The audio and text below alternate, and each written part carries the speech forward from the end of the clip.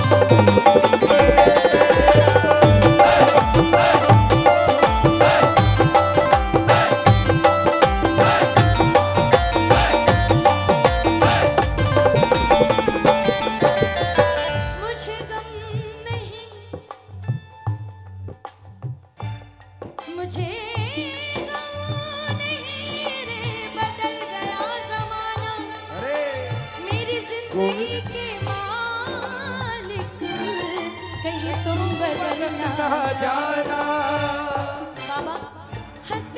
कुछ भी कहे जमाना। हंसे कुछ भी कहे जमाना। हंसे या कुछ भी कहे जमाना। हंसे कुछ भी कहे जमाना। Juro te topo